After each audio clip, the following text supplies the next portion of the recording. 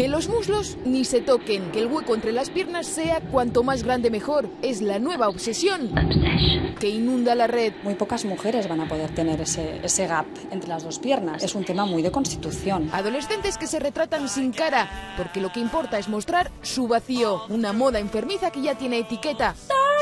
Thigh Gap. Y ya tiene hasta canción. Miles de tutoriales animan a conseguirlo.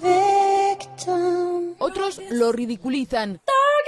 Ir por la vida como un cangrejo o con un balón en la entrepierna. Soluciones absurdas para demostrar lo absurdo de esta obsesión peligrosa. Lo que lleva a la gente es a dejar de comer, nos hace una anorexia, eso sí que es malo para la salud. Ponen ejemplos irreales. Alguien se ha atrevido a rebanarle a Beyoncé su exuberancia, pero comparen.